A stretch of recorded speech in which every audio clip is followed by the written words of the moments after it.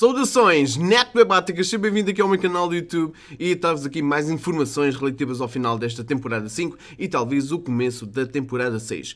Hoje, às 19 horas Portugal, às 15 de Brasil, aconteceu uma cena em, em direto, portanto, é um live event que em Tomato Town a cabeça do Tomato, o Tomato Red, apareceu novamente. Já estava nos fecheiros do jogo há muito tempo, mas o evento deu-se hoje. Não, deu-se ontem, porque este vídeo já saiu depois de ontem, depois de hoje, isso. Vocês perceberam?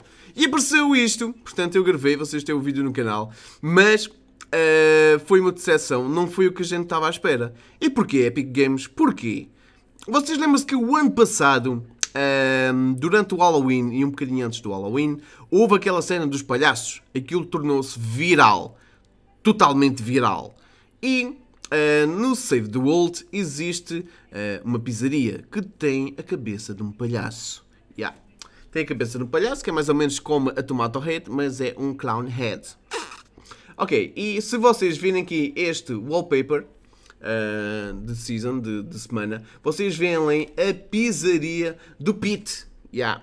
E temos ali o Tomato Ed a fazer, a cortar, a, sei lá, a inaugurar a pizzaria. Portanto, pode ser aí uma, um, um easter egg já muito antigo de Epic Games relativamente ao Battle Royale. Ou, ou então, ou então mesmo à, à, à cena do, do Tomato Red, uh, relativamente ao Save the World. E poderemos ter aqui então uma modificação em Tomato Town. Em Tomato Town, que vai acontecer também no dia 27 um, portanto, vai acontecer um novo evento em Tomato Town. O que é que vai acontecer? O que é que vai acontecer? Será que vem aí finalmente a cabeça do palhaço? O que é que isso quer dizer? Vamos entrar no Halloween, porque há um bug que transforma as árvores tipo outono, vocês estão a perceber? E falando em outono, outono, outubro, um, o que é que nós também achamos nos ficheiros do jogo?